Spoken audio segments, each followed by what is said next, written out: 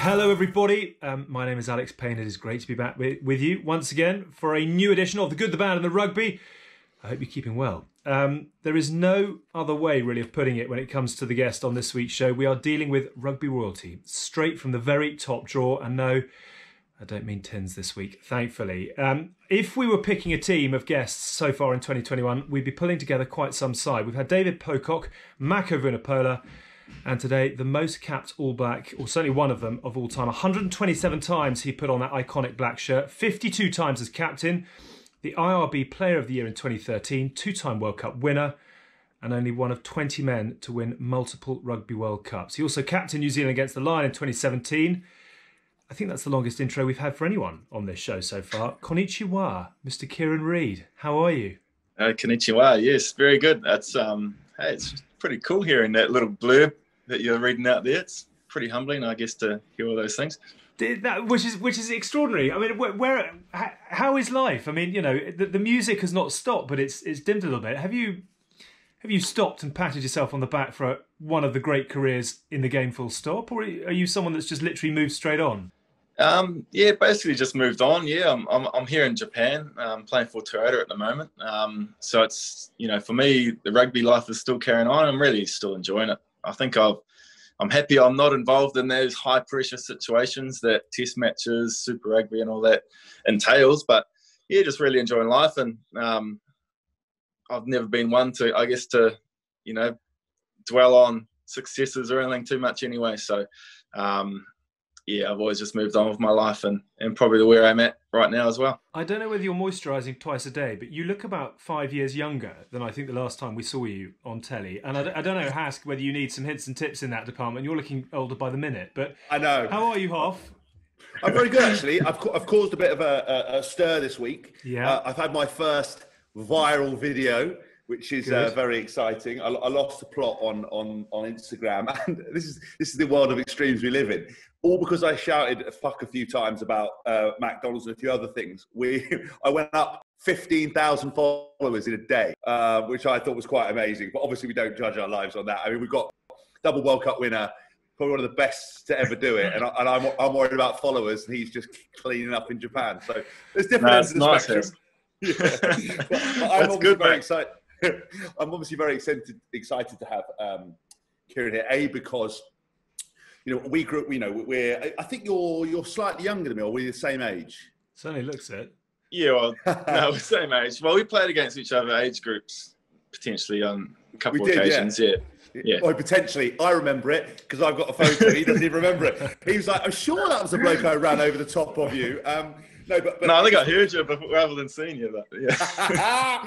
yes, now we're touring. Now the podcast has started. No, but I, I, I want to tell everyone because when you when you come through kind of a, an age group rugby, and we're going to go through kind of your, your career, and it's it's interesting again because every time we get people on here, we had we had David Bo- Pocock on, um, and even he doesn't kind of appreciate necessarily what the career he had. And one of my regrets when I finished playing was, you know, in, in comparison to you two, it, was nothing. But to even appreciate what I had what I had done, and before you know it, you're in a different phase of your life. And I remember coming up as a player you know, hearing about uh, Kieran for All Blacks, Kieran Read, you know, and do you remember, I remember obviously, I think you were in the same team as Jeremy Thrush as well, weren't you? The, the second yeah. row. And it was kind of these two boys were sort of touted to be the, be the All Blacks. And um, when you hear about something, so many people when they're younger get hyped up and they're never seen, they're never seen again. And to obviously watch his career and then to be, you know, to have played against him a number of times, to become a fan of him, and then to look at him as somebody that I, aspired because there was a period i mean of about well your whole career but there's a um, like a purple patch period where you were by far and away the best number eight in the world by like a long way like i, I you know i remember and when you obviously won the world player of the year you just could do no no wrong and, and as somebody who kind of played across the back row i spent a lot of time kind of watching watching footage going how does he do this? Uh, and, and, sadly, not getting, not sadly not getting anywhere. So I'm very excited to see you, and also what I, what I want to do on this show more than anything else is the Kiwis kind of have this mystique about them, right? And all of you guys, you even said it in your intro, humble, you know, we do this, there's no one bigger than the team. But so many of you have such good personalities that kind of, I know in New Zealand there's a bit of like tall poppy syndrome where, you know, as soon as somebody gets a bit above themselves, everyone cuts you down. But I, I I always want to know what it's you know what, what's behind the door. And I know you a little bit, so I, I, know what a good lad you are. But I really want to see today just what makes you tick because everybody can watch highlights of you carving up. Uh, but I, I think there's so many unknown Kiwis, and it's maybe a bit of your magical power. Just like the, the you know the, the ten the thousand yard stare, the fact that you never say anything, just oh yeah, you know, yeah, yeah, no, no, no problem, bro. Uh, and then secretly, what's going on? Like you know, are you a party animal? Like you know, what do you do? We need to know this. Kieran, where, where, would you like to start with that? Well, are we finished? A bit of that terrain and go with it. was there an was there a question in there or not? I'm not sure. Not, no, not really. No. no, no I think I think that probably the biggest thing for me, if you go back to, I came out of a a, a nothing school of rugby. It was a Rosehill College. It was 2,000 kids. We had one rugby team, so our first 15, um, that played an average competition in counties Manukau. Um, and so I came from nowhere to make New Zealand secondary schools, 19s, 21. So I kind of like I, I wasn't mates with all those other guys then. You know, it was kind of like I was by myself doing it, just trying to. So I didn't quite know the landscape of what rugby could be. You know, I wasn't coming from a big school and um, had all this coaching. So that's that's my background. I think that's kind of potentially, you know, why I wasn't really brought up and and you know really looking to make a career out of it or whatever. It was just about doing what I could. Um, and once you got opportunities, man, I just wanted to keep going with it. Which is very interesting. So, at what point did you were you made aware that you had what it took, kind of thing? Because you did have a very big reputation as a youngster. At what point did people start saying to you, "If you concentrate on this, Kieran, you can go all the way"? Yeah, it was it was probably uh, under 19s. After under 19s, um, so I had a pretty good tournament. We won that tournament in South Africa in Durban. Um, you know, I, I, I didn't know really know I had a good tournament. I just enjoyed playing rugby.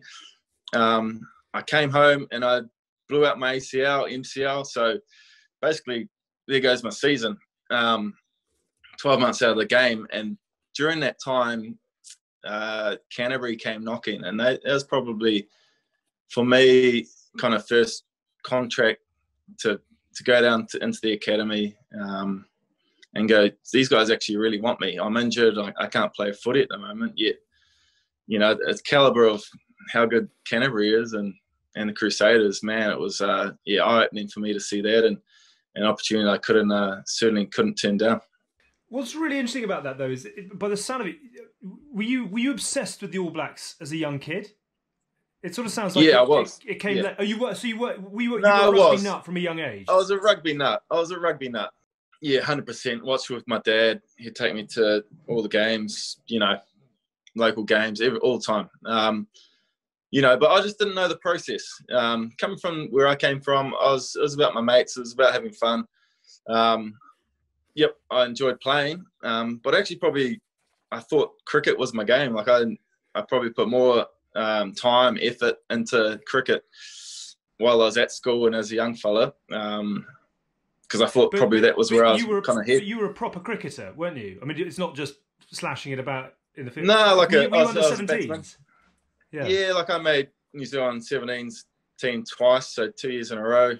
So tournament team. Um, like I was just a, like I loved it. So I put a lot of effort into my cricket. Like a, during winter, I was practicing for cricket um, you know, on a Sunday during the week playing while I was playing rugby. So, um, yeah, rugby was there, and like I wanted, I loved it, but it kind of came to that point, as I said, around that whole when I left school. Uh, New Zealand under 19s meant I got injured, which meant I couldn't then play cricket that summer, um, and it just flowed from there, I guess. What kind of a batsman were you? Were you sort of boycott, occupy the crease, or were you a little bit more flambe? Probably, um, I was a mix. I was a mix, definitely. I definitely, you know, 2020 wasn't around when I was that young, so you know, it wasn't too big, but certainly I enjoyed hitting the ball. So club cricket, yep, I'd certainly be going for it. Representative, I'd probably just um, tone it down a little bit. And did you play? Go on, I was just going to quickly ask: Did you play cricket with anyone who went on to represent the Black Caps? Yeah, played with um, BJ Watling, who's you know probably one of our best wicket keepers still going at the moment. Um, so me and him, same age. Um, Daniel Flynn, Anton Devcich all played in the ND side, so the team the team that I played for. Uh, so we all played together, yeah. And you wouldn't, you weren't tempted to do a Jeff Wilson and, and mix and match because he played one day cricket for. He did. He did. He played. You know, uh, like it was a dream. So I basically was telling myself, you know, that I'd, I'd love to do it, but Hask will attest to this. As soon as you play any number of years playing footy, um, my body's in no state to to get around a cricket field um, at all now. Could you even throw a cricket ball now? Because you know, like when I was younger, I used to play so, cricket, not very well. I yeah, couldn't even throw it. Nah, I can't. Like I, I, can throw it. So if I, but if I throw once, the shoulder is absolutely gone, and you can't do it's it. So, it's so funny. Even like, my, like holding a bat now with my wrists, like I can't access anything. So it's just, oh, it's bad. But anyway. It's, it's very funny because I, you know, like when you're a kid and like you obviously forget that you're, uh, that you're getting older because you, in your mind you still feel young. And I remember like I used to play all sports at school. I wasn't particularly good, but I play all sports. And I remember like that first stage, kind of second year professional contract at Wasps, going, oh, I'll throw a cricket ball throw it, it just falling out my hand, and me going, "Oh God!" Like I just don't think I can yeah. throw anything anymore. Like even trying to throw the dog, the ball for the dog now, I'm just like, yeah, just underarm that, just under, underarm that back. Yeah. Did did you um? Do you think it helped you that you weren't as keen? Because no doubt when you were coming through, you must have met players that were just all they wanted to do, all they talked about was being an All Black. They're obsessive, and you came from a school that kind of you wanted to do it, but it wasn't like everything about you. I think I like as I said, like I wasn't surrounded by these guys until literally my last year at school. So I was 17, turning 18. Um, so up until then, it was really just, you know, I was playing for Counties Manukau, which is my representative area, which was predominantly Pacific Island players. So I grew up playing with them. So, you know, we just played for fun, really, because that's what we're about. So as I said, yeah, I hadn't met those guys who were just wanting to go down this professional uh, life of it. So yeah, I was just doing my thing, and um, it was, I think it was definitely a advantage to me to have potentially that background. Um, you know, coming into a life of um, professional sport post that. You know, I certainly had to hadn't seen a gym um, up till then, so had to work on that. I think my first year in academy, I put on 10 kgs. Um, I was on the mass burner program, so it was uh, yeah, it was There's a, a lot of work. I'm what I'm loving about this is the contrast between the two of you. I mean, Kieran, we've spoken quite a lot about the fact in the past that Hask. I mean, technically you weren't, but you were pretty much expelled from school. Um, and I don't think the words "golden boy" have ever been used. Uh, Kieran, we're talking about the fact that not only were you picked out as a future All Black, you know, when you were pretty much in your nappies, but also you were could have played for the Black Caps. You were also head boy of Rosehill College as well. Is that right? I mean, we did. Did you ever do? Of course he was. Oi, of course, he, was. of course he was. Fuck, such a straight shooter. Were you one of those kids that just kind of shone at everything you did? I think looking in from the outset, yeah, probably was. But like we are talking, like we're not talking Auckland Grammar. We're not talking St Kentigern College, which I did go for one year when I was 14. But we're talking a, a school that's it's um, yeah, it's a working class school, and you know, I was probably yeah, I did probably stand out in that school. Certainly a big a big fish, but it was a fairly small pond, so um, yeah, I could could see why. Um, what kind of a what kind of a kid were you uh, as a, as a youngster? I mean, were you someone that was studious, worked very hard? Were you pretty easy come, easy go? You know, what, what how would you describe yourself looking back now on a young Kieran Read? You know, I was I was very quiet and probably just yeah, pretty studious. So I was I was good at school. Um, probably drilled into me from my parents that I, you know you had to do well at school. My older brother was the same. Um, so I did well at school. I didn't you know break any records in the in terms of school books, but um, you know sport was always my passion. Um, I always just enjoyed getting outside and that was my childhood, and that's I guess like many many guys. Um, so yeah, spent my entire childhood just chasing the ball around outside, and you know trying to beat my older brother, and um, basically yeah, doing my best, and um, I think that's probably yeah, the type of person I am. Did your dad play a part in, in, in those early years in terms of making your brother? Do you make your brother and you go outside and play? Because when we, you know, we spoke to other players, there's always this kind of element where the dad's outside kind of helping them. Or did you two just do it because you had a good relationship? Um, uh, we didn't have a great relationship. Uh, between me and my older brother. To be honest, I don't I don't think he liked me until he um, until I finally made first fifteen when he was seventh form, I was fifth form, and he he was my captain. Um, and he, he saw I was some use to him because I was pretty good. So so um is that right? So no, your brother put your brother put you through the tough love program, did he? Oh, 100%. Yeah, it was a tough love program, which, you know, he claims every all my success because of it. Um, you know, and it's the type of, you know, he's the type of brother who we had a PlayStation, well, he had a PlayStation where I'd sit there and watch him play PlayStation for two, three hours. And then when he when he finished, like I'm not going to sit around by myself and play it by myself. So then we'd go outside and just finally get a chance to do something. You know, he wouldn't wouldn't give me a go.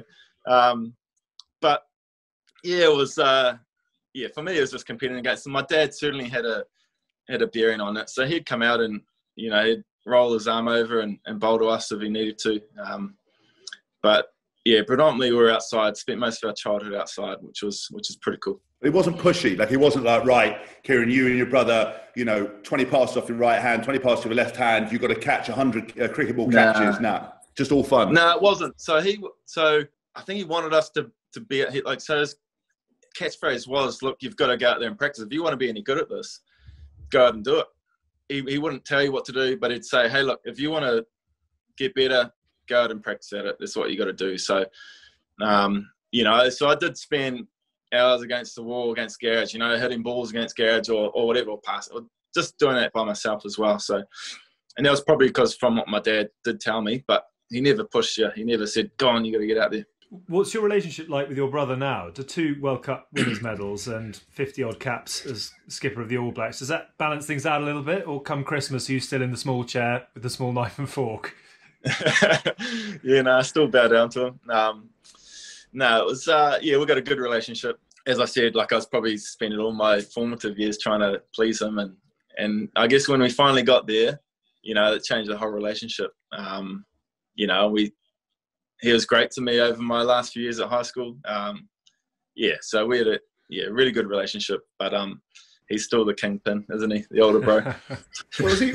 So was it? When I, I know when I like, obviously I lived in New Zealand for for a little while, and obviously some Kiwis are quite uh, emotional. Some of them are quite like straight shooters. Like I, I, obviously, you know, I was in in in, in Dunedin, and, and you know, I saw a lot of like fathers and fathers and sons, you know, shaking hands. I always give, I always go and give my dad, go, go and give my dad a kiss on the cheek, give him a hug. Right? Was there with your brother? Was there when you got your sort of all black cap, or when you make the first fifteen, like just the most perceptible sort of you know, nod, or was that moment where you're like, we made it? Because I don't imagine he was like, yeah. Kieran, come in. Nah, nah, most definitely nah. So my dad is 100% like that. So he is a quiet man and is literally the, the handshake if you're lucky. Um, you know, he wouldn't debrief much. He'd give the odd nod. And as you said, so um, now me and my bro, so we, yeah, we, we probably had a bit of fun outside the game as well. So once I made the first 15 with him, could go to the parties, you know, the first 15 parties. So he'd, he'd take me along and look after me and, you know, play out a few beers as well. So, um, yeah, that was that changed the relationship. It reminds me of a um, a clip that Jimmy Gemmell, who's who's a great mate up here and one of the sort of Sky presenters, put together, which was um, Scott and Jordie Barrett shaking hands at the end of a Canes Crusaders game, and he put it up saying the Barrett the Barrett sort of saying well done, pretending like they'd never met each other. They literally just walked past. There wasn't there wasn't an eyebrow raise. It literally handshake walk past.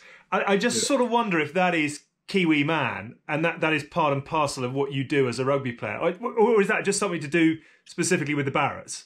I think that's probably specifically to do with Crusaders v Hurricanes, to be honest. Right. Okay. Fair play. um, yeah, I don't think we like each other that much, um, and so it was probably bragging rights. Whoever had beaten the other one in that game, you know, had the bragging rights, and the other one was probably very pissed off. So uh, I imagine that's what it is. Do you, do you hug? Do you hug your kids now, or are you like? So, welcome Pass to the dinner table. Yeah, yeah. Dad, Dad, I've done so well. You're like, excellent. Thank you excellent, very much. Or do you, or do you nah, hug him now? Because oh, mate, no, nah, it's totally different, isn't it? I think it's just a generation thing. But no, nah, you yeah. you spend put so much love into your kids, man. So yeah, hug them. You know, spend so much time together doing that, which you probably never had growing up. It just yeah. wasn't how it was. But you know, now now it's just not like I put as much love and and and kisses, cuddle all my kids, and um, yeah, so it's different. I guess it's just the way the world is, maybe. My or, dad you know, tried that once. My dad tried it once in the, in the spirit of rugby at Twickenham. I came up from the ga- came up from the game, and he went. uh, Obviously, there's a couple of mates. He went, "Son," I just went, "Fuck off, Dad," and just gave him a hug and a kiss. He was like, "Yes, okay." So I was like, "Dad, Okay, right. what are you talking about?" Yeah, I, I love that though because I, think it's so it's so important. It's, it's interesting just going off on piece. You know, like what you've achieved and stuff like that. It's so nice to just go on, Dad, I love you, and they're so like straight laced, man. so, so I'm glad that you, I'm glad that you're bringing the new generation of emotionally open Kiwi to the table. Yeah, hundred percent. That's changing, isn't it? I'm, I'm sure it is, but I think it's a hard one because then if you show too much emotion, though, New Zealanders, mate, they'll come at you. They'll come at you. Um, so you just got to show it in the in the right way, in the right space, don't you? When you win, uh, supposedly, but nah, who knows? Um, hopefully, it just uh, it's how it should be. You know, it's you got to show emotion. That's the name of the game. I, I remember, I think after one very rare All Black loss, I think it was um, Colin Pinetree Meads who said the players need to eat more red meat. That was his sort of. That is how we fix this problem, and I. It, it is. It is. It is a thing, isn't it, in New Zealand that perhaps the men have taken longer to open up and to talk about their emotions than certainly up here in the UK. I mean, you look at Hask; he's sort of lays it out bare on, on camera twenty four hours a day. But is that? I mean, do, do, have you noticed a culture change in New Zealand, even as a player and as you know someone who has been very much at the forefront and in the limelight? Um, yeah, I have, hundred percent.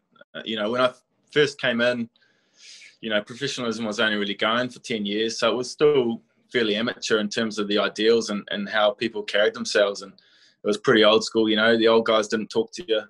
Uh, Haskell test to this. You know, it was so it was. You know, you, you just earned your stripes. That was how it was. Um, you know, but definitely over the last few years, it, it's changed, and um, you know, well-being is is a big part of it. Um, and in, in New Zealand, men don't talk to each other, and you know you bottle it up, and and we've got some pretty horrific stats in terms of that uh, mental side of illness and and suicide in New Zealand. So the more potentially guys who are, you know, in the public eye, rugby players are showing emotion and showing that hey, yep, when you're not feeling quite your best, you can still willing to talk to your mate.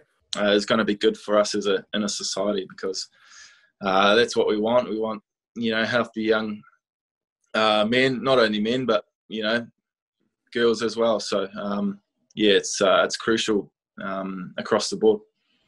Do you find that you you think more like that because you've you've left New Zealand and, and, and travelled because you've had that experience, like because you were an international rugby player and you've gone and played in different areas and seen that, or is that something that's actually changing in New Zealand? Oh, it's changing in New Zealand now. Yeah, yeah, you see that. I think, you know, the guys coming through now, the, the younger generation, they're attuned to it, they understand it. I think it's making sure, um, you know, it becomes more than just words, I guess. And um, social media has some really great, you know, advantages to it, but it can also, you know, lend to some pretty horrific, I guess, kind of bullying or whatever it is. So, um, look, we just got to be smart around that and making sure that you know when things pop up, guys don't just bottle it. You know, it's it's about talking talking to your mates and um, you know I had a good crew around me over my time, which which helped, uh, and I think that's that's the important part.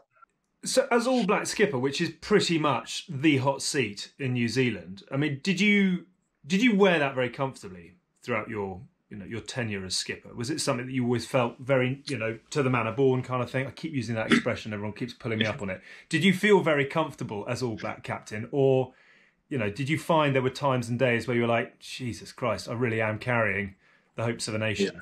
broad shoulders though they are? No, look, uh, you know, you don't want to ever be comfortable in something, but uh, like I, I felt like it was my t- time to be captain. Like I was, you know, I was certainly ready for it, and I felt like, yeah, I could own it and be my own own man in in that position. So yeah, I enjoyed it. I felt comfortable.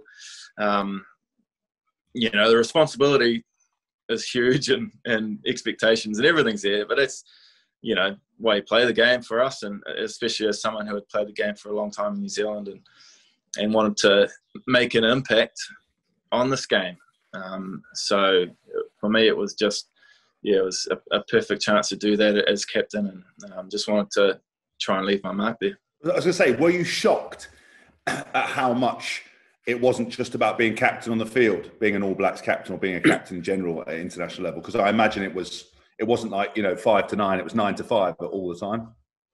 Yeah, yeah. Look, it was um, you know watching Rich captain for a long time and kind of you know come in and I captain maybe I'd captain the side maybe twelve times before I was announced official cap official captain. So you know, felt you felt like you had a, an idea, but you didn't. You know, when when you're the official skipper, you know, it's it's a different story, and um, yeah, it's you can't quite switch off.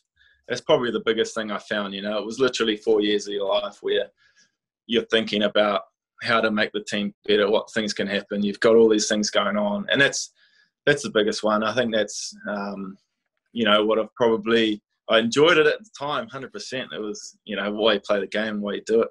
Um, but probably the difference that I've really enjoyed since um, you know hanging up my boots for the All Blacks and coming to Japan and and having some downtime. It's uh, been something where you can kind of just relax a little bit and and just kind of literally just oh smell the roses and and just enjoy yourself. Um, you know, a slightly bit more. Um, not taken away from from how good a feeling is when you you know when you play a test match and and go out there and play for your, for your country.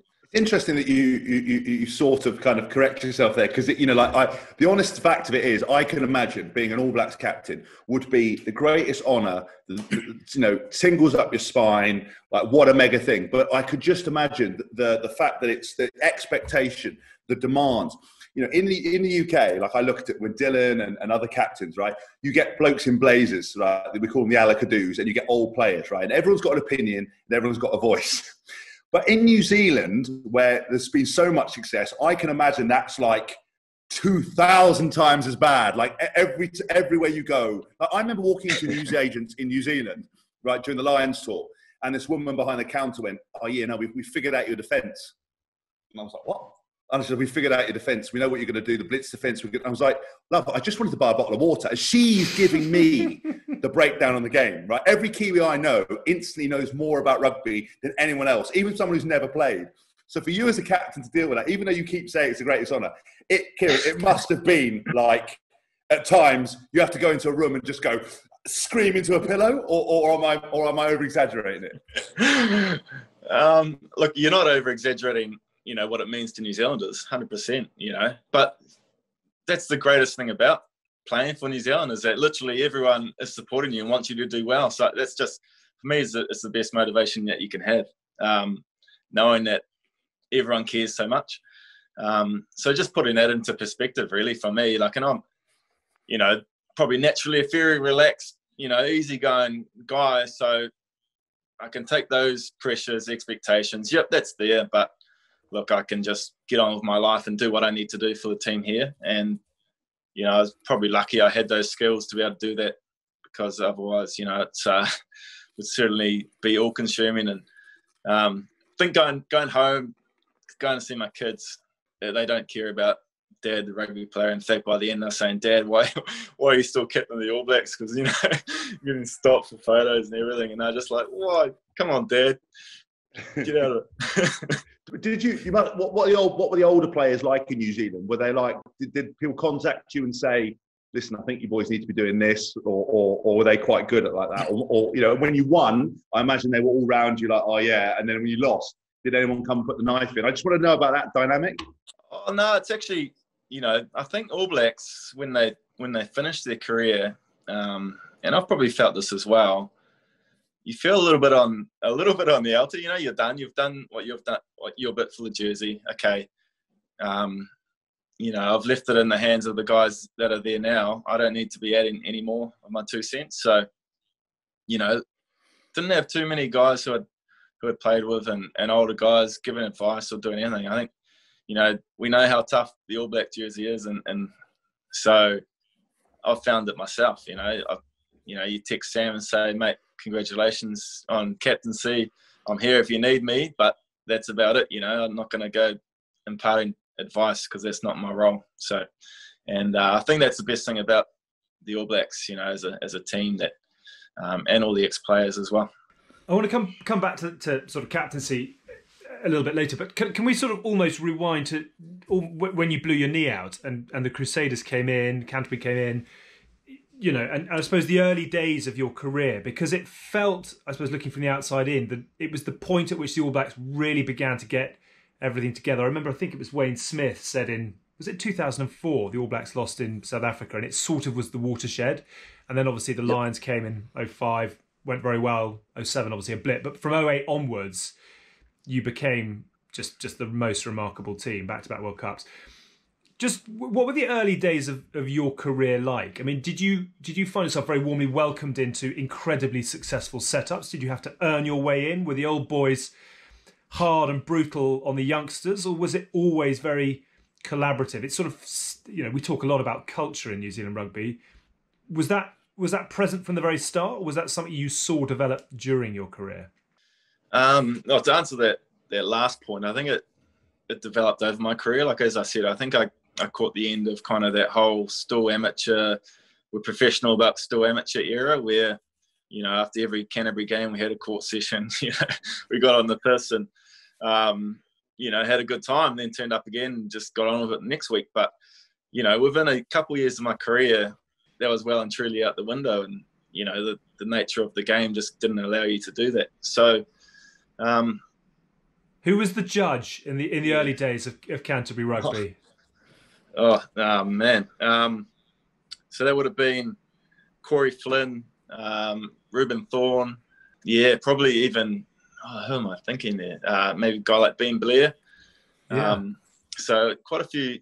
So I came into the academy and we shared um, the same gym as the Crusaders. So I was Canterbury Academy sharing the gym with the Crusaders. So, you know, your Dan Carter's, Reuben Thorne's, Greg Somerville's, Dan Carter's, all these guys, and I'm this 19 year old, you know, trying to put on weights, you know, putting the 60 kgs on the bench press, you know, just trying to do my best. And these guys are kind of in there as well, and walk, and I'm walking past them, and um, so that doesn't inspire you as a as a young rugby player. I don't know what what can. So, um, you know, for me that was pretty cool to be able to rub shoulders with those guys. But was it was it a very easy environment to step into? Uh, no, it wasn't easy. Um, if you can imagine that, like these are All Black stars, and as a young guy, you're you know you're shit scared going in there, just purely the expectations. And I think naturally, it was uh, earn your respect um, time still. Um, so, yep, they supported you, um, but until potentially you'd earn your stripes uh, on the field, um, then they'd probably pay a bit more attention to you. Um, you know, some guys were slightly different and, um, you know, would, would spend more time and, and talk to you a, a, lot more. But I think it was still that slight generation of, hey, look, you got to earn your stripes, son, and then uh, and then you're part of the crew. Um, I was very fortunate that, you know, I got an opportunity to play games early on, so I didn't sit on the sideline too much in the early part of my career. Um, so got the opportunity to play alongside these guys. As soon as, soon as you rub shoulders with them, um, you know they're top blokes and you know they're wishing you all the best and, and doing everything for you. So um, yeah, it's fortunate on my behalf. Did you earn your did you, did you earn your stripes purely through actions on the field, or did you earn your stripes by going after people in training who you know you had to prove yourself against, or did you earn your stripes in a court session, or was it a bit of all? Oh, it was definitely on the field. It was on the field. Um, I think you know we had a, a team that's very experienced, um, and so if the young fellas going after the old boys at training, then you know it's probably not the way to do it. I, I, I don't think from our guys, um, and I, I, found that out pretty early on. Um, because from well, yeah, because you saw it happen, and then I saw uh, I think it was Aaron Mauger, um, one of the young guys flew off the line, came at him, and he just let rip at him and said, you know, why the fuck are you doing this? And fucking basically hooked into him um, as well at the same time. you know, you know, don't do that at training, mate. We play on Saturdays. We don't need to do this at training, type of thing. So, um, yeah, got that in pretty early on. Um, I can imagine. I can imagine you being like early doors, like quite quite competitive. Like like you know, not not necessarily just competitive in terms of like trying to do your best, but being quite we have an expression in the UK like being a Norse, like a fucking like Maro Itoje. When Maro Itoje Yeah. t- turned out to England training, and we're like the older heads, and we're doing like a drill, and Maro's like running through everyone, fighting for the extra yards. Yards, you're like, right, I'm gonna have to fill him in. What a fucking, you know. um, yeah, look, I, I probably potentially was early on. You know, you don't want to, as a young guy, you can't be showing up, can you? No. Um, but I, I think I, I learned that pretty early on that these guys here, it depends who you get alongside. You know, these guys had played over 100 games for Crusaders, you know, plus 50 for the All Blacks and things. So, um, look, I was respectful of them 100%. Um, and it, it came down to just doing the work with them, I think. If you showed that you're willing to do it, then, then you know, you got their respect.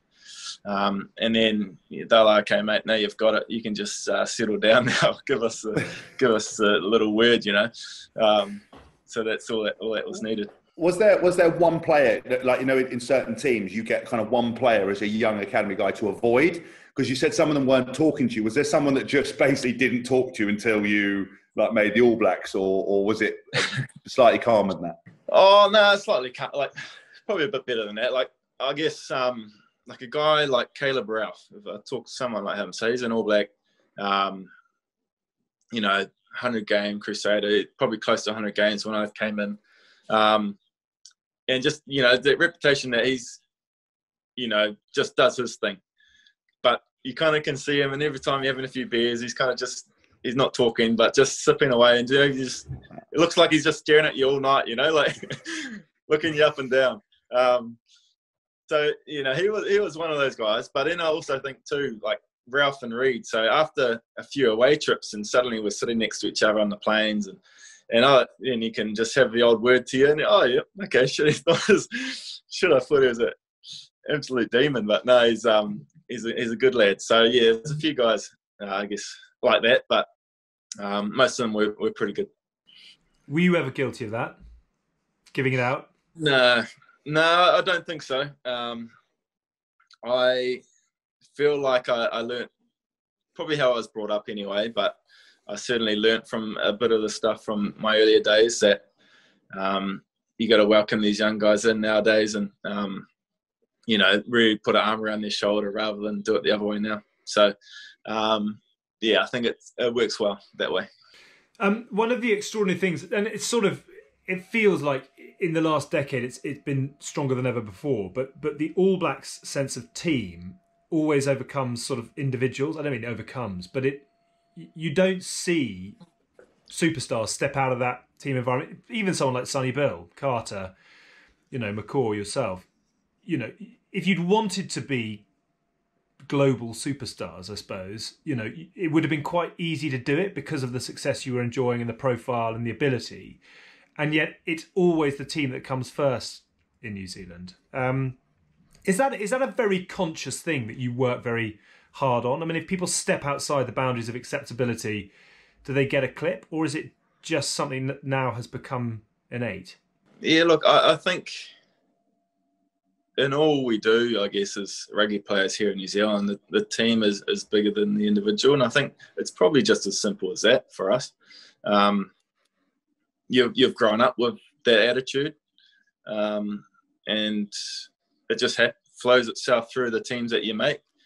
Um, and I know, speaking from the Crusaders' point of view, like there's no way a guy comes in and you know sees themselves as bigger than the team. They don't last and you get to the All Blacks and you do the same thing, you, you wouldn't last, um, you know, more than 10 test matches. So it is required of you. It's not saying that you can't be yourself and can't be an individual because that's what is the great thing about the sport. You know, you see these great players because of what they do, but how the team holds itself is the most important thing. And, and in New Zealand, that's just the way it is.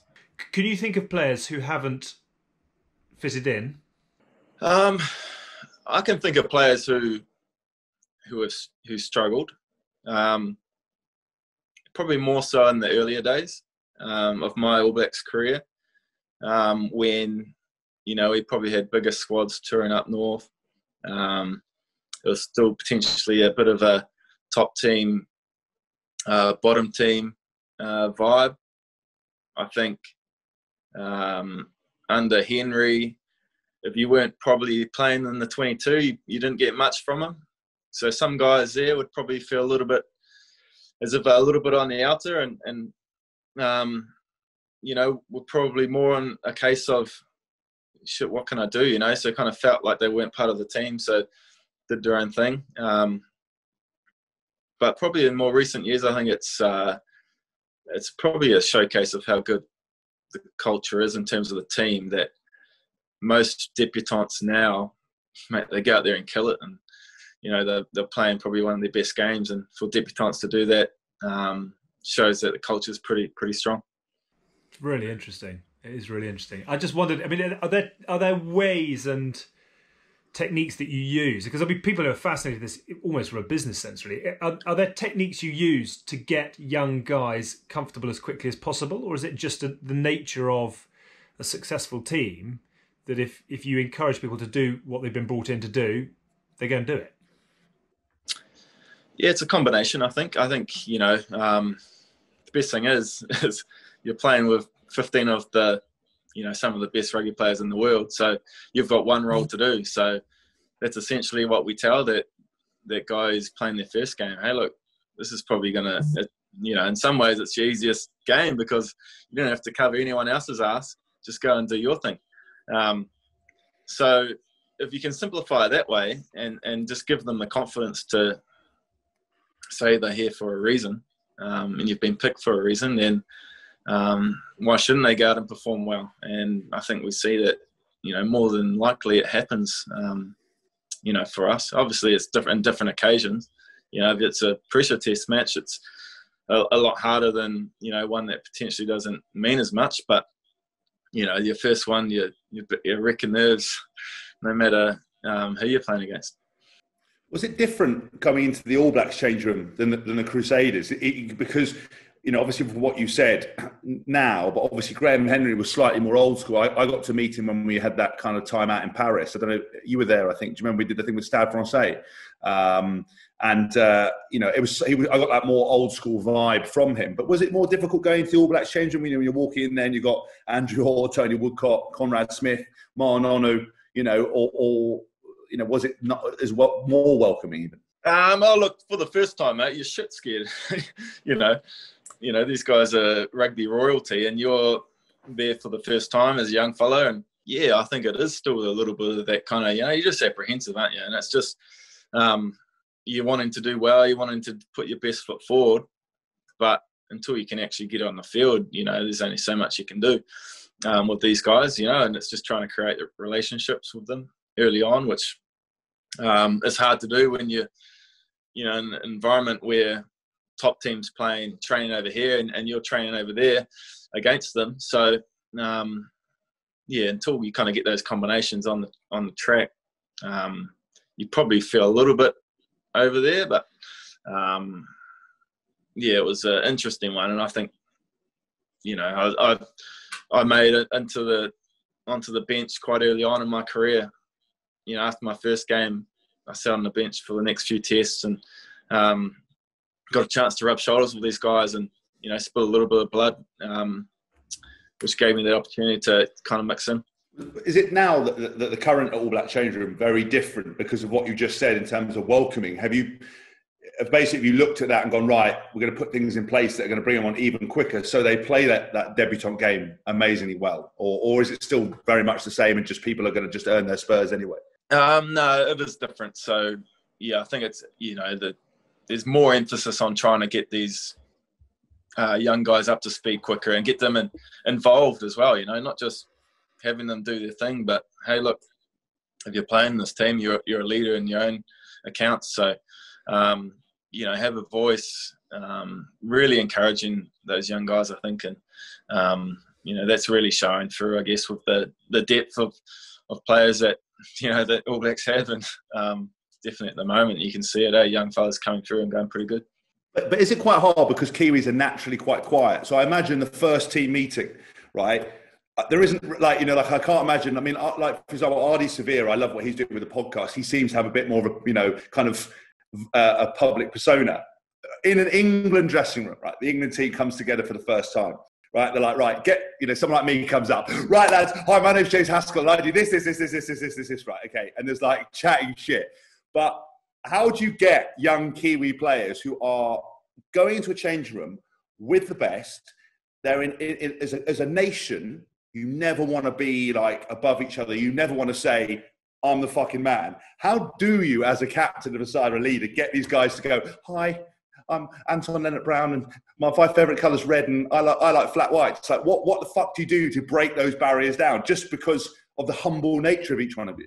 Um, yeah, look, I think it's uh, you know, there's a couple of things that you can do. I, I think as leaders is the most important thing.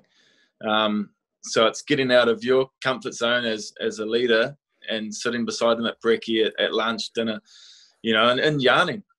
If you can create a rapport outside of the game, and create a little bit. Oh, you know, I know about Johnny and he's his brother does this, or you know, he's got a kid um, who who's how old, and suddenly you've got this um, bond between you and that person. And as a leader, I, I found that was probably one of my greatest assets or strengths that I need to do was go and you know try and create a, a great relationship with each and every person um, because you know this stronger your bond outside of the game, it's uh, it helps you on, on the field as well. Do you remember the point in your career? So you made your debut 08, I think, wasn't it? Was it 2008? Yeah. You, given what you're saying about earning your spurs, do you remember the point at which you felt you could relax, not necessarily, uh, you know, as an All Black, but relax within the environment? Was there a point where you thought, I now belong? Yeah, uh, probably a year later. I think um, 2009, by the time like we had a pretty tough year, we lost to South Africa three times. In 2009, um, I was on the bench the first two, and by the third test, I was, I'd got a start as number eight, and so I was starting. Um, was the All Black starting number eight by then, and going on to the tour, I was, I guess, considered the starting number eight. And I think that's probably the time where I thought, yeah, I can be here for as long as I want to be here, I guess. Um, I'd also been given the um, the line out range, so I was I was uh, calling the lineouts from number eight, um, and you know I was been given this, these little extra responsibilities that for a guy who'd only been in the team for a year, um, it kind of gave me confidence to go, yeah, this is uh, where I belong. Um, this is what I want to do, and mate, you just got to keep keep grinding away and, and keep keep doing it. So um, that's probably the point for me. The, the, other question I want to ask you, and I, I you know, we're talking about two great players here, but um, just the impact of McCaw on the early part of your career. I mean, just in terms of standards, understanding, the ability to get away with it. Um, you know, how, how useful was it running on the tracks that that he'd sort of been through in the early in the earlier years just before you? Uh, yeah, pretty yeah, pretty amazing to have a guy like that as kind of that person I could look up to and and train alongside. But you know, we trained alongside each other for ten, you know, eight years at least, uh, nine years. You know, from 2007 to 2015. Um, so all those extra conditioning sessions where you got to go down to the paddock and go through it away from everyone else. You know, it was me and him you know, and he's a freak. So for me, it was just literally trying to keep up with him with his shadow. you know, why is, why is he a freak? In what way? Well, oh, his, his running ability to sustain to sustain pace. So if you run a, you know, do 100 meters in yay amount of time, no matter how many reps we do, he'll he'll keep it at that time. Whereas you know, for me, if I ran at his pace, I'd blow out at five six times. You know, sh- sh- a blow out. You know, I couldn't couldn't sustain it. You know, so if I, I knew when I was close to him, you know, when you're getting down to it, then I was as bloody fit because yeah, he was remarkable in that sense. It was more, I guess, the mental side as well. So you you know you do all this training with him, but um, all those extras that you do, all those um, individual work ons that we did together, and just seeing what he did, you know, most of the time, and there's not one kind of training session where you know you, you just slack around. So yeah, for me having a, that person, I think he probably you know tucked me under his wing and said, "I you'll do me because we can work hard against each other on those one-on-one little sessions." And um, yeah, so it was yeah, for me to have that was was pretty cool. Um, yeah, certainly pushed pushed me. I hope I pushed him as well because um, yeah, it was pretty cool. That sounds like my dream. Like if I could pay to have been the third one in that mix, like you'd have had to be a competition winner. Mate, if, if like Carlsberg were doing, you know, we're doing tra- rugby rugby training camps, I would check, lads, I'm in. Did yeah. just yeah. you know, obviously his work rate is was second to none. But did you have that? Did you feel like he sort of took you under your wing, or were you were you, were you constantly competitive? Because I know, for example, when early days with me and Lawrence, like I obviously, you know, idolized Lawrence Dallaglio, and you know, we used to train together, put head to get head to head. But as a as a player, you still got that competitive spirit. So even though he wanted to help me, he still wanted to fuck me up when when he could.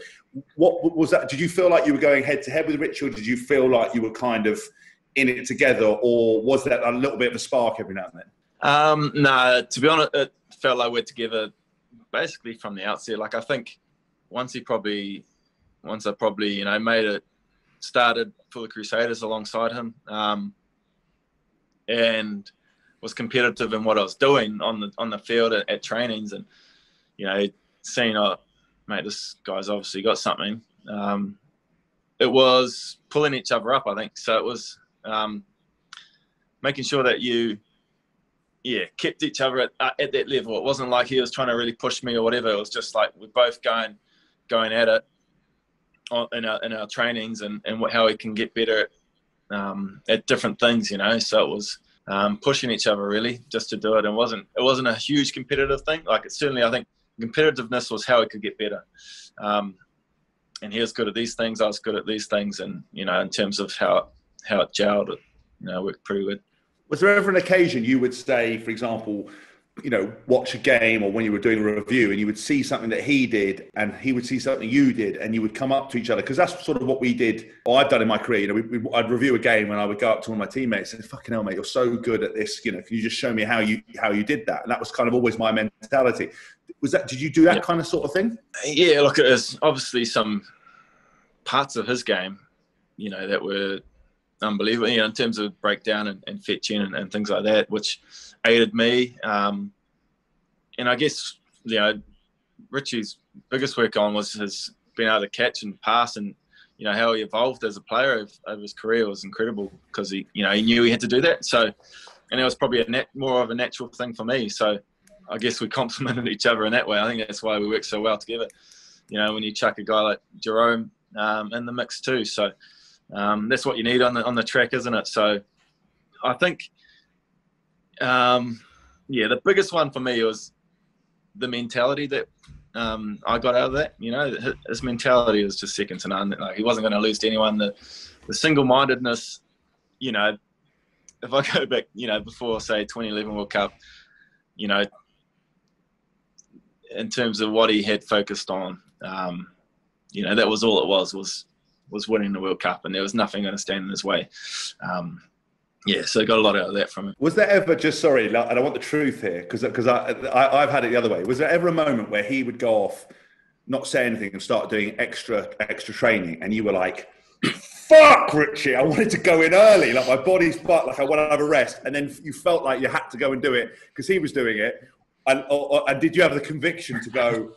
Now just leave him because I've seen it where I've gone to walk off the field like towards the end of my career and vice versa with someone like Chris Robshaw or or one of the other boys and I've gone to do some extra tackling and I've seen Robbo like walk off, get to the edge of the change and go, fucking husk and come back and gone, uh, can I join in? Was there anything like that going on? Um, Truthfully, oh, just... it's okay. Truthfully, you can admit it. I don't know. There's there's there's probably been occasions where he's certainly done that. But to be honest, Haskell probably gone fuck it. I'll just yeah, of course you have. Fuck up, mate. well, you sacked you, you like so uh, early days. You would have gone and just gone. I'll join him. As you became yeah. older, you just gone. Go on, Richie. Good lad, bud. Yeah, yeah. Right. Especially because he's you know he's he's already clocked up an extra 500 meters on his GPS in the warm up as well. How many? Yeah. How fast he gets out there. So, yeah, because because because he um but someone told me and I don't want to break the mystique that towards the end of it he didn't do a lot of training in the week So there's always one of those guys when they're doing extras when they haven't done Monday, Tuesday, Wednesday sessions, or is that or is that not true? Oh, look, you know his body was pretty beat up by the end, so he had to pick and choose, didn't he? Um, oh, look, when he put his body on the line, he put his body on the line, Hask. So we all got to that, that, point in our career, which is good. yeah, yeah, good. Yeah, yeah I never got to that. I never got to that point because every time I'd go, "Oh, my back sore," they'd be like, "Fuck off, get out and train." I'd be like, "Okay." Was the um, particularly amongst you the, the Crusaders crew? I mean, you look at Richie and Dan. They, in particular, they're, they're pretty different people, really. You know, Dan is front row at whatever it is. You know, Louis Vuitton the, um, fashion show. Louis Vuitton fashion show, and, and Richie's cleaning his helicopter. I mean, were you were you all part of a flat white club post training, and was there you know a real friendship there, or was it very much kind of we are very good at what we do on the field, but we're very different off it? Um, yeah, I guess um, we're we're slightly different people. Yeah, so Richie and me, like I think um, on the field, I guess you know it was inseparable. Kind of work so hard together. Um, and I, I kind of feel I can and understand now that he, you know, he was all that captain at the time. The pressures and everything that go with it are hard. It's hard to to make, you know, true, you know, like great friendships and stuff. And so we're, I you know, I had a kid early on, so by time 2010, I had a had my first kid. So, you know, I was going home to change nappies, and he's still, you know, single and um, focusing on on footy probably a bit more than what I was. So it was, you know, we're probably in different aspects of of life, I guess, and in some ways. Um, but you know, great friends on the field, and certainly could enjoy a beer after it. Um, but probably went our own ways, um, you know, outside the game. So, if you were to see Rich or Dan now, do you greet with bear hugs and grabbing each other's ears and brother, how good to see you, or is it a firm handshake? Yes, we're back to handshake territory. well, yeah, well, you go. Richie's probably a handshake and DC's a hug. right. But is that just their personality? I think maybe so. Yeah, it's probably how it is. It's very interesting. I mean, I remember. So I, I did your um I was very lucky to do the 2000. And, it's the only I, I, have only met Richie a couple of times, but I did the 2015 World Cup winners' dinner the night after you won at Twickenham, and I remember Julian Savea um, winning try of the year. And as I interviewed him, I said, "Oh, congratulations!" And I've just spoken to Richie, who says that as you've picked up this award, it's a bit like a hole in one. You've got to buy every member of the team a drink tonight as a joke, just to try and get a laugh and lots of people laughed. And then it cut to Richie, who was sitting at the top table, and he you could see him on camera saying, "I didn't fucking say that."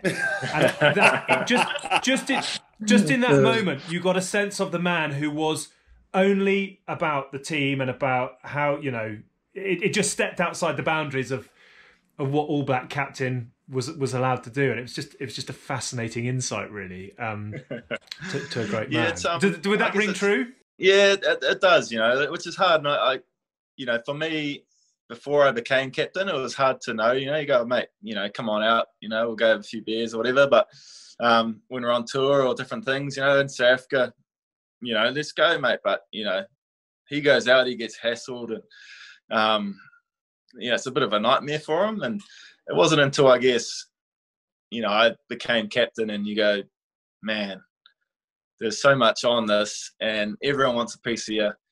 You know, I was lucky I had a family, so um, you know, two kids and stuff that I could use as kind of a shield. You know, when you're out and about, if you got you got kids, but you know, for him, he he just get back absolutely barraged, and you know, probably going home and getting away from it was, and he's got his outlets, you know, in terms of flying and stuff. So totally understand where, where he was there. If, if you now now you've had some time to reflect, obviously sitting in Japan, counting the yen, lying probably on a yen a yen mattress, I imagine. Um, you look back at your your captaincy and think, um, or your all black, is there anything you would have done differently in terms of now what you know um, and how and you've had an out you know an outside looking in?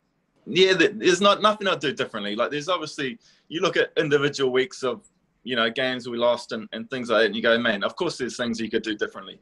Um, you know but that's hindsight. That's just looking back on things. But you know i've come to to know that you know i put everything in across my career and definitely across my captaincy um, to try and get the best results possible. You know and there's there's things there that you go oh man you could have done this could have done that. But look, I, I haven't really worried about them because you know I know at the time I put so much effort and and everything into it that you know it sits it sits pretty true of me. The reason I ask that is because is, is because David Pocock, for example, he said, you know, hindsight in terms of playing and the way he did things, like you said, it's just reflection. One thing he regretted, he said, was that he wasn't more kind of engaging with other teams, other players, um, and was sort of, you know, kind of so focused on the task in hand that he didn't necessarily build those relationships around. I, I know with the All Blacks thing, because you guys won most of the time, it was like pretty much smiles. But did you did you feel that you you could have engaged more with people, or are you comfortable with all that kind of stuff? Oh yeah, look, I guess on that perspective, like it would be great if you could enjoy each other's company a bit more. I, you know, I, I just felt it so difficult to try and do. You know, like you know, we'd play England once a year. You know, we'd have a, a couple, of, you know, series in New Zealand where you play a few games, but um, you know, and you'd you'd literally see them up at a you know shirt and tie dinner where you know I just want to get out of there, whatever, and um, it was hard to to engage. I just think it's you know it's probably the thing that I, I miss most, or, or, feel like you talk to guys from back in the day, and they're like, man, how much engagement they had with the opposition. Um, and certainly I felt we got that with certain teams. You know, like Africa was a team that we, you know, we always seemed to play them where we could have a few beers after the game and enjoy ourselves. Um, but if you got it next week, it's always hard, isn't it, um, to do that? So it would be nice to do, and like hopefully, um, you know, in my future, you know, I can get around and I can just call someone up from a team I've played played against, and you know, and go and catch up. So I'm looking forward to doing that. Well, judging by what happens at the World Cups and the fact that we we covered the uh, the, the, obviously the 2019 World Cup uh, for House of Rugby, uh, our old podcast, and um, we went out there and basically all the old legendary players. I think for the entire time, like I don't know how many days, like 48 days, they spent on the piss together. Like it's like there, there was never any competition against any of them. The only competition was could they keep standing. So I think if you you know having won two World Cups, yeah, and, and liking yeah. a little beer or, or, or, a little stubby or two, you are going to be absolutely fine in that respect. The only problem is they had a World Cup winners group, so I was allowed in. I was allowed in. I was like, lads, can I can I come for a beer? They're like, no, I'm sorry, you can't. Yeah. Haskell's you know? working the cloakroom. Yeah. yeah. Um, where are your winners' medals nowadays? Where do you where do you keep them? Um, oh, they're on a they're on a shelf at home somewhere. Um, I love it. Yep, yep. No, so they, they are. They're not out. So they're probably in their case, but they're probably on a yeah on a shelf somewhere at home. Um, and when I say 2011 to you, you feel, you think, you remember what? Ah, uh, ecstasy mixed with relief. So many, so many people who were part of that, just as fans, broadcasters, they all talk about relief which is an yeah. extraordinary emotion to go to. It's amazing. It's amazing, you know, because you go, well, shouldn't this be the, you know, the best moment of your life, like that whole ecstasy? And I, I think at that time when it um, final whistle went for me, it was, you know, like I, all the, in terms of the 24 years for me that we hadn't won, like I hadn't been involved in previous World Cups, so this was it for me. This is my one one turn. Whereas a lot of of guys who had been to 03, 07, obviously, it was all on them. But mate, the pressure was in terms like if you look, walked around New Zealand at that time, and you know there was no way we could lose, um, and and walk back out and walk through New Zealand for the next year or so or however long, you know, we just couldn't. So that's where where the relief comes from. It's extraordinary, isn't it? I mean, did you enjoy 2011, or was it something you kind of feel you went through? No, I enjoyed it. So, as I said, like that was my first experience at a World Cup, and I, I went into the I went into the World Cup with a high ankle sprain, syndesmosis. So I missed our first three games. So I got, um, you know, was probably touch and go to to play our fourth pool game, even make the quarterfinal when when I got injured um, two weeks before the comp before the World Cup. So I got to go to our opening game, watch the opening ceremony from a different perspective that I wouldn't have got to had of us playing. So I was just out there as a fan, you know, seeing what was going on. So I got a quite a cool perspective in, in terms of that, of what it meant to all New Zealanders. You know, I wasn't just right in my cocoon of blocking out all these extra things. So um, that was a cool part of it. Um, and then obviously coming back onto the field and the impact of it and knowing what it meant and then just the whole World Cup was pretty special in terms of the crowds and involvement and everything. And then when we talk about 2015, the emotions of what?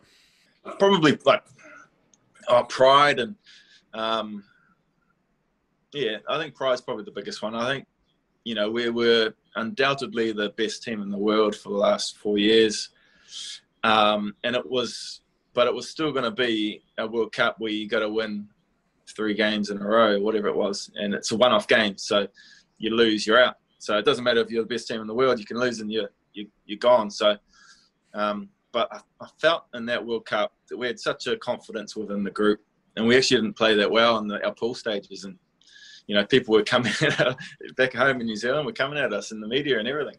Um, yet within our within our four walls as a team, you know, we're so confident um, in our ability and who we had and, and what we're um, going to do. So in, in that sense, you know, it was it was so stark the differences for me in the bus to the 2011 World Cup final compared to the 2015 World Cup final.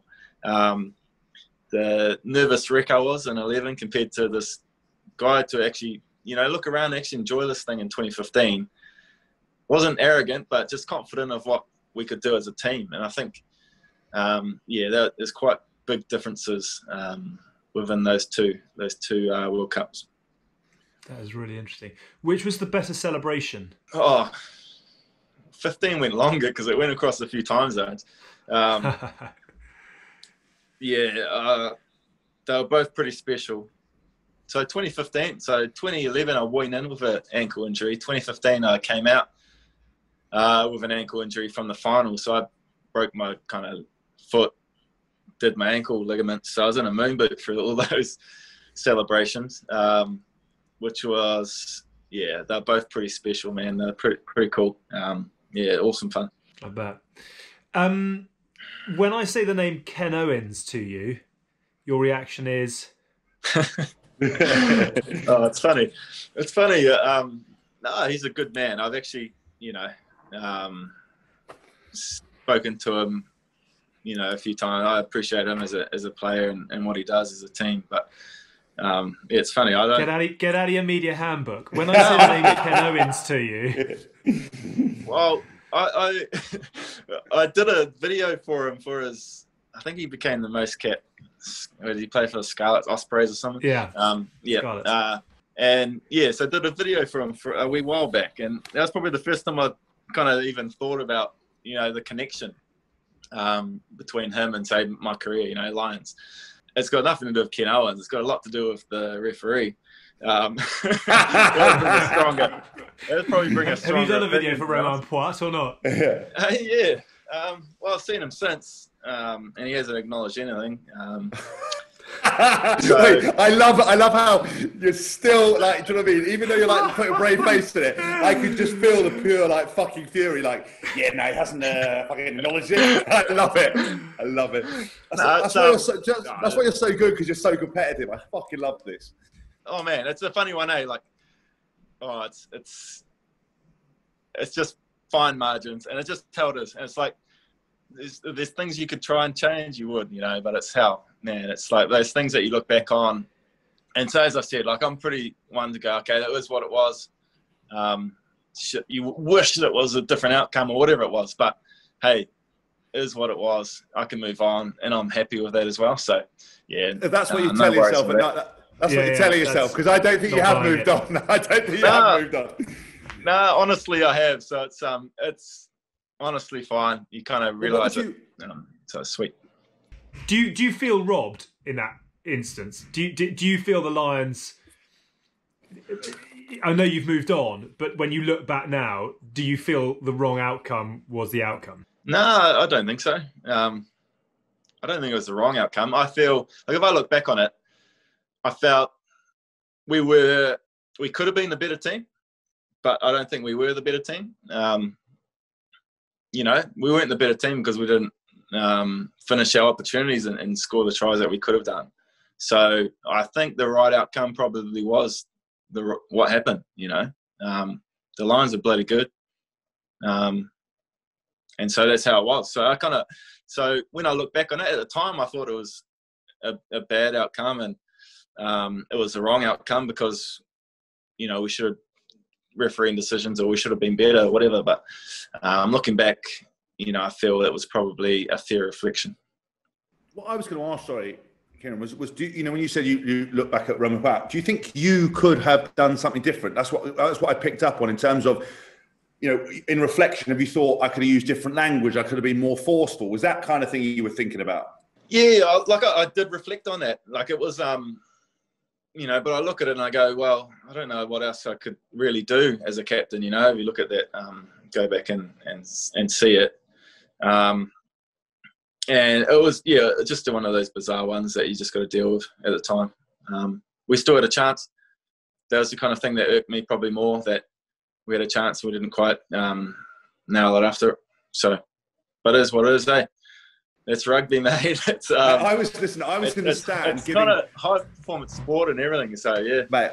I was in the stand giving Rory Best son chips, so I was I was so far away from having any impact on anything. But I, I mean, I you know at the time we were sitting in the stand. I didn't even know that you could draw. That was the best bit. I don't I don't know if you guys knew it on the field, but we we had no idea. We were standing there going, "Oh, brilliant, extra time," and then went, "Yeah, that game's over." We're like, "What? How can you fucking end the game like that?" No, well, I remember. So I um, seen you that night, you know, in the uh, ceremony after it. Um, you know, and it was more, it was, it was quite bizarre, eh? It was kind of like, because you kind of go through a series like that and as if you kind of hate each other, you know, like it's, and it's quite, it's kind of weird. And I think, um, because you respect um, the players and, and all those teams, and but you just don't get a chance to actually sit down and and talk to each other and go, you know, oh, mate, how big is this and how much pressure is on these games, and just kind of share that. Um, which I guess is probably, you know, it's would have been nice to be able to do a bit more of that, you know, um, across the board. But um, you know, the nature of it is coaches don't want you mixing and mingling, mate. They want you hating each other when you go out to play the game. But um, yeah, there's two ways of doing that. Do you remember that evening though? I, I actually completely forgot. I'm, you know, we ended up having this exact conversation, didn't we? Just to catch up, going, look, yeah. we've been here for yeah. you know nine weeks and we haven't seen you once. Ha, ha, you know what's happening? Obviously, I didn't play the the the, the Crusaders. I didn't play any of the big games. I was more I was more uh, social secretary slash entertainment. Um, but it, it was weird because yeah, we sat in that sort of thing and uh, had a couple of beers together. And I remember speaking to to Sam Whitelock and Sam Cane and being like, you know. Uh, I can't believe we've confined our interaction to one evening when it would have been so good. Because there's, there's no way that I, I, could have met you for a coffee if I had been good enough to be in the test team. If I could met you for a coffee and had a flat white, we'd had a yarn, and then yeah. not wanted to go full, full, you know, full goo on the weekend. Like I don't, I wouldn't have ever affected my mentality. It is such a shame that we sort of have these like snatch 10 minute conversations I can see after a while you're looking at me going, does he ever shut the fuck up? Then you walk off and see your family, and then I move on to the next person. um, yeah, look, mate, I think it's that's probably a little bit of the way the game's gone, and I think that it is a little bit of a shame. Um, you know, and maybe it, it, it, shouldn't affect you. Eh? Like I, I remember back in the day with South Africa, where we'd go for a promo and we'd be cooking a braai with each other on a Thursday and then playing on a Saturday. And as you said, we're professional players. You know, it doesn't matter. You can enjoy each other's company, but you get on that field and you're going hammer and tongs, so it doesn't matter. When you look back now, I mean, are you are you comfortable with with the, the All Black music stopping? Do you do you miss it enormously? Is it been and gone, and you don't think too much about it? Yeah, I'm, I'm no, I don't, I don't miss it. I uh, yeah, I'm pretty happy to be where I'm at right now. Um, you know, I'm stoked for what I did over my career, um, but you know, there's a big part of me that kind of yeah certainly doesn't miss the pressures and and miss the expectations of of it all, um, and can kind of just be be a dad again and and just enjoy my footy, which I'm doing here in Japan, and um, it's the first time in a long time that you can go to training, you know, train, whatever. As soon as you get in the car to come home, you don't even think about the game anymore. Um, so I've really enjoyed that um, part of part of uh, I guess my rugby career now. Because you said in a sorry, Alan, you said you said in a quote actually something along those lines. You said that you know we don't watch rugby at home, we don't talk about rugby. You know, is that is that is that always the case, or or is that something you're you're really relishing at the moment, where you're coming back and you're just like, you know, I don't need to worry about this. yeah, um, no. So, uh, you know, we never talked about rugby at home when I was, um, you know, still playing with the All Blacks and stuff. Like my wife isn't it. You know, she supports me, but doesn't know rugby and doesn't care about it in essence. And and uh, my eldest kids are girls, and to be honest, they they know as rugby is the thing that takes dad away. They know as rugby is the thing that when we're out and about, people are staring and talking and wanting photos and stuff. So um, yeah, rugby is the last thing that they want to be talking about. So which was always great for me. I think it was a great balance, you know, you know. But you couldn't, you can't get out of your head though can you? You know, you're going home and it's in your head and you're and you're thinking about it um, because that's what you want to do. It's what you're doing. Um, whereas here, hey, I was just playing a game, you know, because I still enjoy it and it's a team game. Those those things that you enjoy, but none of the extra stuff that that's going on. You know how many fans and um, kind of young players who, who will listen to this will be shocked by the fact that you, you are able to kind of put your rugby in one box here and not bring it home with you? Because I think there's this perception mm. that you have to be on it 24 hours a day that you can't have um, another avenue. And I think it's so good to hear that because I know I don't know what I thought but I thought if you're in New Zealand you, you, you train rugby, you're in the car, you listen to a rugby show, you get in, everyone in the family's dressed up as all blacks, and you're like scrummaging and scrummaging and misses, and she's like got she's got like a PowerPoint presentation of like where you could have been better off the base of the scrum. But I love the fact that that this is what I, you know, because people will just put the All Blacks in such a mystique. You bring the shutter back and you go, fucking hell, they're just really good lads.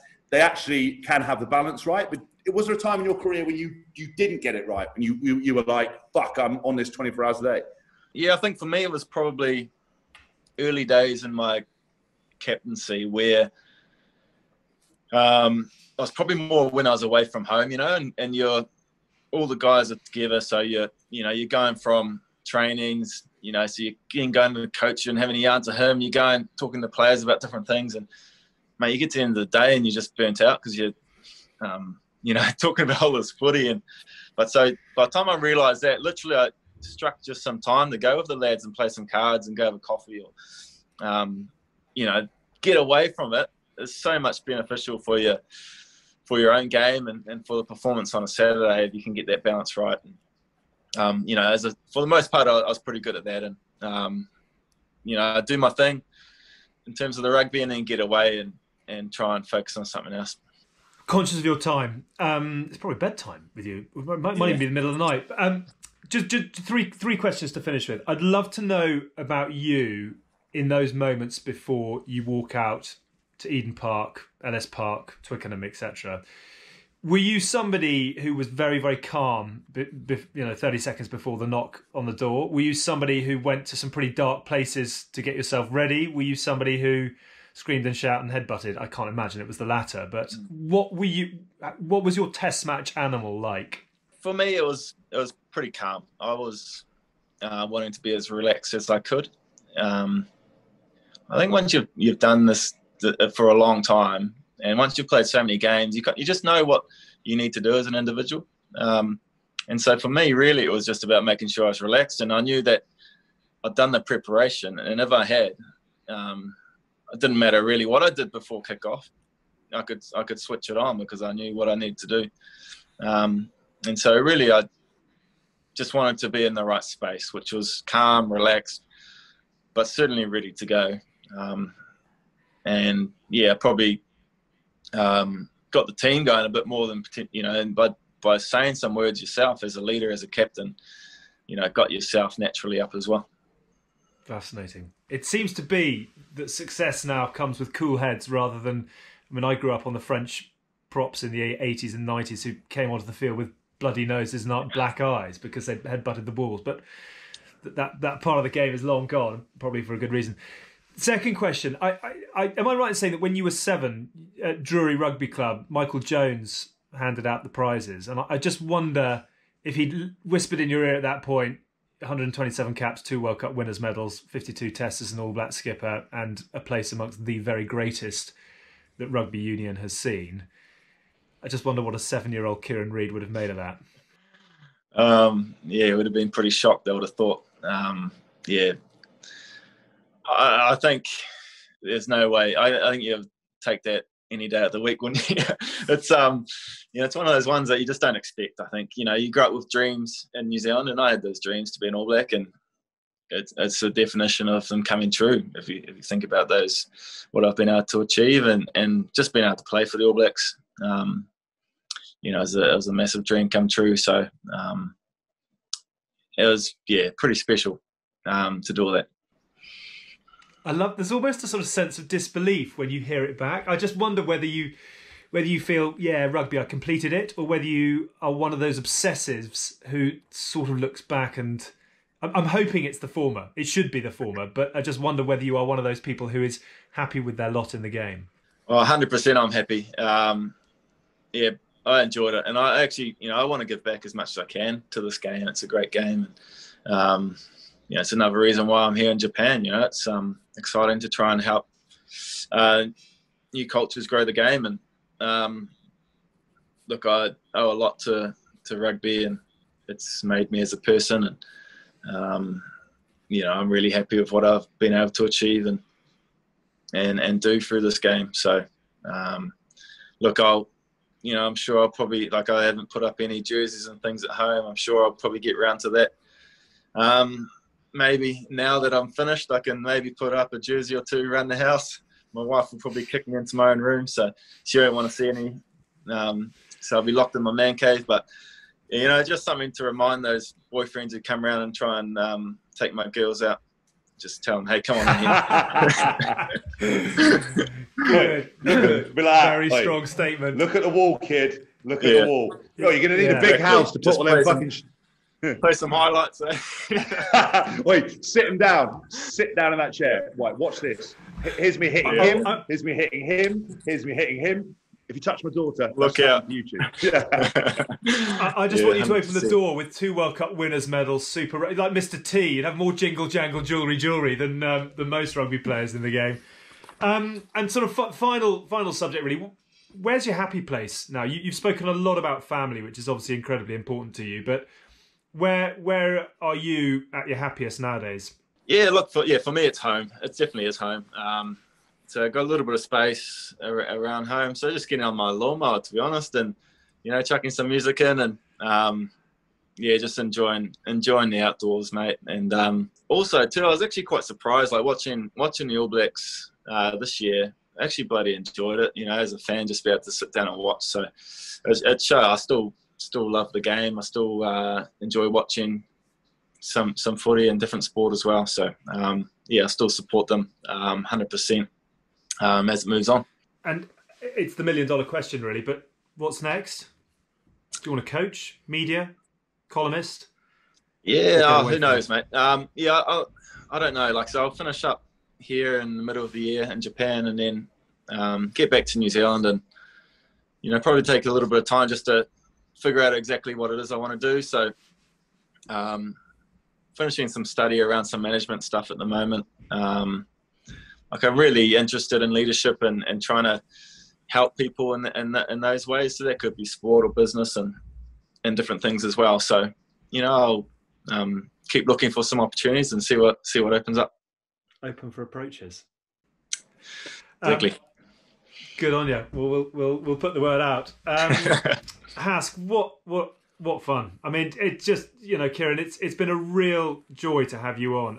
One of the game's greats, um, you know, one of the most decorated players out there, and just really nice to have a yarn. Um, and I mean, Hask, we're, we're, we're lucky to, to use your phone book in this way, but it's been a real a real treat. Well, look, I mean, firstly, I was shocked that actually Kieran even replied to my, my Instagram message. it, it was nice because I thought he was going to absolutely pine me because I I actually it's one of those things. Uh, I talked about to Dylan Hartley about it. Is that I've always been, even if I don't necessarily know people that well, I've always wanted to like reach out. Like I remember, you know his his hundredth cap or his retirement. I I just you know I wanted to to reach out and just send a message because I, I think it's it's important because for so many people they either think you already know how good you were, so you don't need to hear it, or little moments kind of pass you by. And, and obviously, in reflection, now I've retired, um, to look what other people have achieved. And, you know, and, and, and Read's had, you know, a, a, a dream career. And, and as you can see from today, is a, is, a, is a top guy. And I'm excited to see what happens next. And I love these podcasts because I had an, I I pictured you, and obviously the fact you were head boy, I knew you were absolutely like, t- t- like, like that. Apple for Apple for teacher, sir, with your little shorts on. But I I love the fact that you you came from a school that wasn't like blueprint of rugby. I, I love the fact that you you know yes you loved you know rugby and everything else like that, but you weren't like I've got to be an All Black like it was something you wanted to do. And I just think hearing about those kind of stuff and your approach to captaincy and and, and everything else, and how much you've you've enjoyed your career, and also like Alex said seeing the surprise in your face when you actually re- reel off the, the shopping list of, of achievements. I think it's amazing, and I think um, I, am excited to see what you, you, you do next. And feel free. There's no pressure. If you're ever in the UK, mate, I'm always up for the piss now. I, you know, there's no, there's no, yes, I might try and manage the rig, but I will have a beer. I will do whatever, whatever, whatever needs to be done. I'm in for it. Yeah. Cheers, Hess. Alex. Thank you guys for having me on. Uh, it's been a pleasure. It's, um, you know, as you said, it's it's about these connections, isn't it? That's what you get out of the game. That's the biggest thing that I've always said is that it's the mates that you've made and the connections you've made over your time are the things that I'll I'll remember most fondly. So uh, it's been a pleasure, and uh, I'll definitely take you up on that, mate, when I'm up there. Good on you. You wear your greatness very lightly, Kieran Read. It's been a real privilege to have you on. Thank you very much indeed. And that is it for this week's The Good, the Bad, and the Rugby. Well done to Hask. Thank you to the legend that is Kieran Read. Um, we did say at the start of the show that if 2021's guest list uh, was coming together as a team. It's going pretty well. Good luck stopping Pocock at open side, Mako Vunipola at loosehead, and Kieran at number eight. And we throw next week's guest into the mix as well. One of the game's uh, greatest wingers in the current uh, format. And we're getting pretty close to unstoppable. Don't forget to go to the website where you'll find the latest from the Nords for all your Stato related information. It's also where you can find our latest ra- range of merchandise if you'd like that. Goodbadrugby.com. We are back in seven days' time with one of the current hot steppers. We will see you then. Until then, thanks again, Kieran. Look after yourself and your family. Take it away for now, though. Rob Brydon. Bye bye.